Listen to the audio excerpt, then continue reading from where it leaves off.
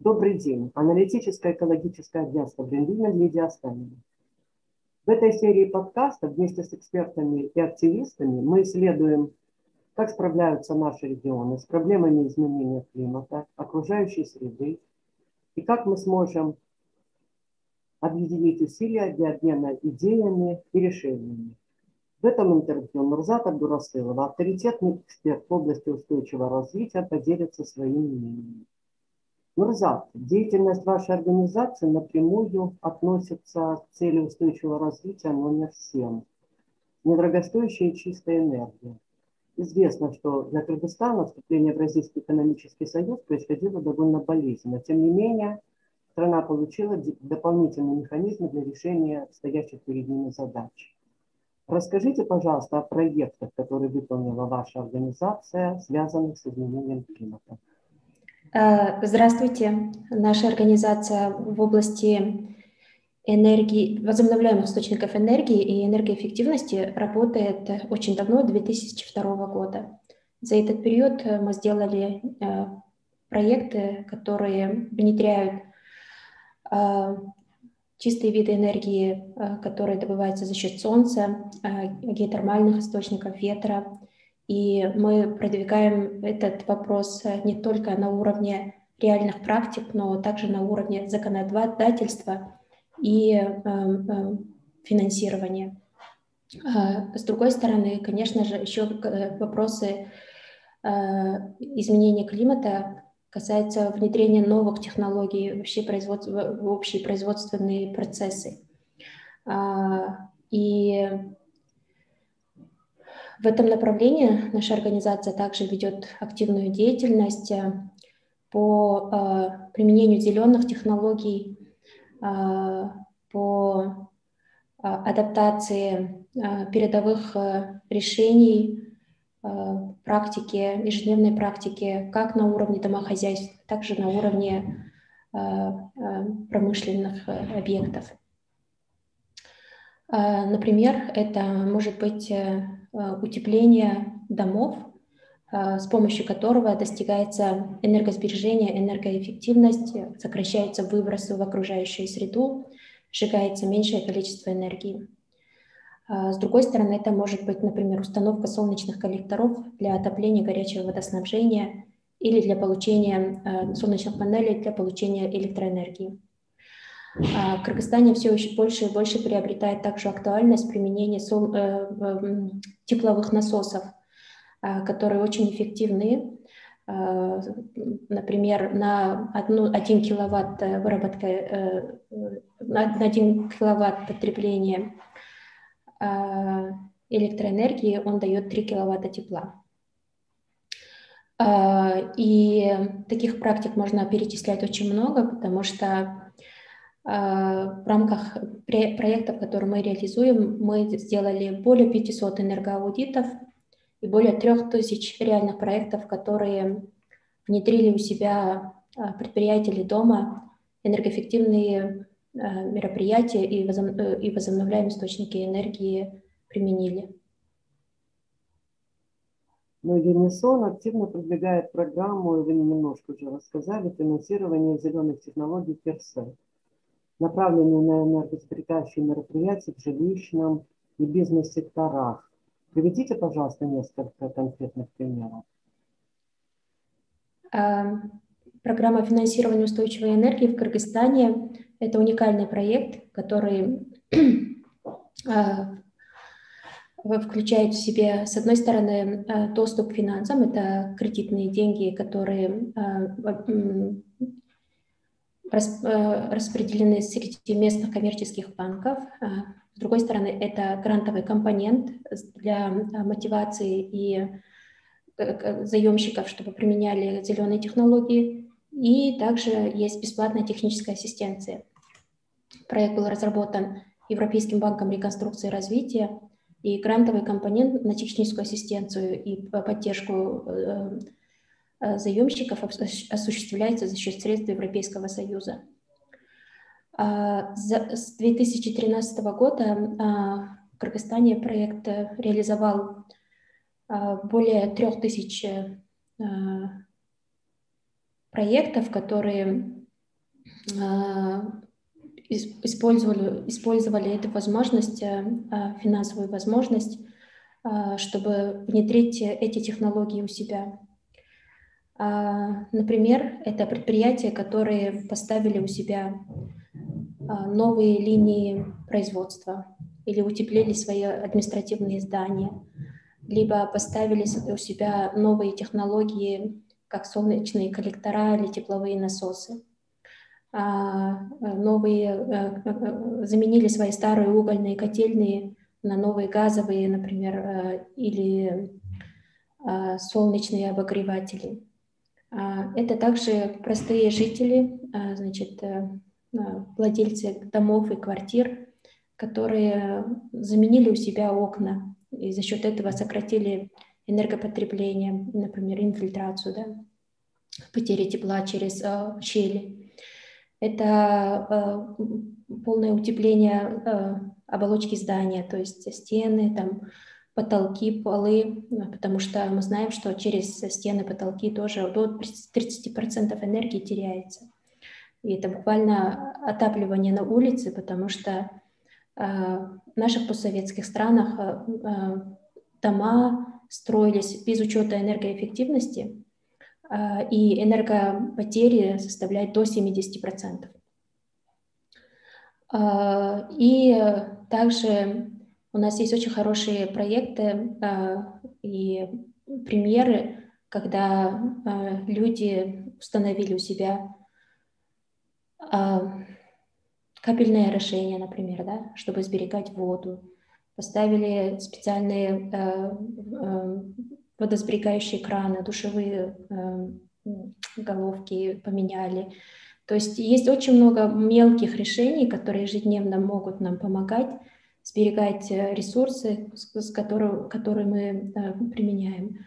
Энергоэффективное освещение, автоматизация подачи электроэнергии – также в целом хорошее планирование э, энергопотребления, например, в предприятии через энергоменеджмент, много таких других э, э, значит, решений продвигается как раз через проект Кирсев, а, потому что у нас есть команда экспертов, команда инженеров, которая осуществляет такую вот бесплатную техническую ассистенцию для клиентов. Еще расскажите, пожалуйста, о проекте уникальном для Центральной Азии, поскольку подобного комплексного подхода к устойчивой энергии, устойчивому использованию природных ресурсов практически отрасли пока не было. Ну, в данный момент наша организация осуществляет проект продвижения энерго- и ресурсоэффективности в туристической отрасли Пирета. А, проект уникальный, комплексный, потому что а, внедрение а, циркулярной экономики и практик устойчивого потребления производства требует именно комплексного подхода. Зачастую бывает так, что для а, озеленения, скажем так, производства или деятельности требуются определенные знания. И в коммерческом секторе этих знаний очень мало, потому что а, это требует э, некого технического потенциала. А, как раз проект Перета осуществляет э, такую техническую поддержку через квалифицированных инженеров, экспертов э, и финансистов, которые помогают бизнесу определить конкретные мероприятия для их, э, для, для, для их предприятий, которые работают в секторе туризма, да, чтобы понять именно, что нужно сделать, какие мероприятия нужно внедрить, например, это может быть утепление жилья, чтобы сократить свое энергопотребление, замена старого оборудования – какие-то меры по устойчивой практике привода потребления или использование, а, например, даже стиральных порошков или э, э, жидкости, которые используют для, для мытья посуды и так далее. Да? То есть это начиная от А до, до Я, а, как раз наши эксперты помогают оценить и прийти к определенному выводу, чтобы сделать предприятие максимально ресурсоэффективным и за счет этого повлиять не только на их экологический след, а, но и также сократить их э, бюджет. Э, с другой стороны, Проект Перета также подразумевает работу с местными поставщиками и местными поставщиками оборудования и технологий. Зачастую бывает так, что когда даже предприятия или значит, простые жители, они хотят что-то внедрить, у них нет знаний. Если знаний есть, то у них нет денег. Если деньги есть, то у них нет технологий. И чтобы вот э, такая цепочка полностью все выстроилась, проект Перето делает комплексный подход и работает, э, с одной стороны, с местными коммерческими банками, финансовыми институтами, чтобы э, помочь им разработать специальные финансовые продукты, а, для поддержки а, зеленых технологий и зеленых практик для коммерческого сектора, для бизнеса, скажем так. С другой стороны, мы работаем местными поставщиками, а, чтобы они привозили качественные и качественные материалы и технологии на рынок. В-третьих, мы работаем также с политиками, чтобы это было, значит, законы, стандарты, которые помогают э, бизнесу э, озеленять свою деятельность и помогают и мотивируют э, эту деятельность дальше осуществлять. А, конечно, мы еще в проекте делаем большой акцент на обучение. А, мы работаем с журналистами, мы организуем серию тренингов, семинаров для владельцев бизнеса, для журналистов, для простых потребителей, для туристов, да, чтобы у нас было в целом общее понимание и вот именно правильные, скажем так, подходы со всех сторон. Нурзат, у вас накоплен большой опыт по защите прав потребителей электроэнергии. Вы строили мосты между потребителями электрораспределительными компаниями на протяжении многих лет. Вам удалось чего-то добиться результатов каких-то? А, мы все являемся потребителем электроэнергии, и каждый из нас является как раз э, вот э, тем э, абонентом, который взаимодействует с энергокомпаниями, да, и поэтому права потребителей и, и обязательства потребителей – это такой один из таких очень острых вопросов. А при этом в нашей советского времени сложилось так, что есть, скажем, энергокомпании, которые нам дают доступ к благу, к электричеству, да, а с другой стороны, в то же время они являются как раз и тем хозяином, который ну, как бы устанавливает э, эти правила. А, поэтому а, наша организация осуществляла деятельность по внедрению прозрачности и подотчетности в энергетической отрасли и улучшению управления энергетическим сектором. А, так как обществен, это общественный сектор в Кыргызстане, где государство владеет э, основным, э, основным как бы, э, основной долей акций в энергосекторе, то мы считаем, что общественный интерес там должен быть превыше всего. А, в этом секторе мы работали более пяти лет, были созданы региональные центры защиты прав потребителей энергии, где работали общественные активисты, юристы, которые помогали как раз э, населению решать вопросы, касающиеся а, электроэнергии, их э, э, по потреблению и доступу к энергии. А, бывает очень много случаев, очень много спорных моментов при взаимодействии с энергокомпаниями. Это касается и неправильных счетов, вычисленных, скажем так, штрафов, пений, э, к эм, доступу или подключению к электроэнергии, или отключению от, электро, от сети, да, от электроэнергии. А, и таких моментов очень много, и когда идет правильное информирование населения и также а, тесная работа с энергокомпаниями, это помогает сократить социальную такую напряженность на местах и также сократить коррупционные моменты. Как ваш опыт потенциал вашей организации способствует реализации принципов зеленой экономики и устойчивого развития? А, я думаю, что одним из э, очень важных моментов реализации любой политики это является а, именно поддержка а, общественности, населения и потенциал местных организаций, которые работают в этом направлении, как на уровне бизнеса, так и на уровне НПО и, и, ну, и как бы граждан обычных. Да? Поэтому э, у наш, нашей организации накоплен определенный опыт в этом направлении, и основную нашу э, миссию мы видим в построении человеческого потенциала, в развитии зеленой экономики и устойчивого развития. А мы очень активно работаем в области развития гражданского общества.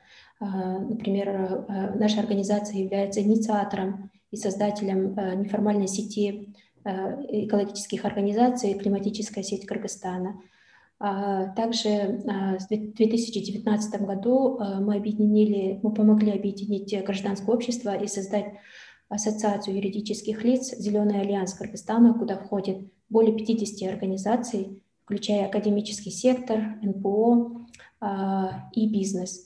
И где мы очень активно обсуждаем программу развития зеленой экономики Кыргызстана, который был принят э, правительством Кыргызской республики. Мы очень активно обсуждаем концепцию э, экологической безопасности. Мы очень активно мониторим э, реализация значит, э, политики в области зеленой экономики и изменения климата. Мы являемся членами межправительственных советов. И я думаю, что вот такая активность именно на местах дает возможность, когда значит, концепции, стратегии и нормативы остаются не просто на бумаге, а реально реализуются в жизни. А наша организация, как, бы, э, как название говорит, юнисон, да, это от слова унисон, иначе говоря, гармонии, а, в унисон работать. И мы верим, что спасение планеты и наша Э, как бы общее благо зависит от каждого из нас. Поэтому каждый должен находиться на своем месте и делать все, что может. Спасибо большое.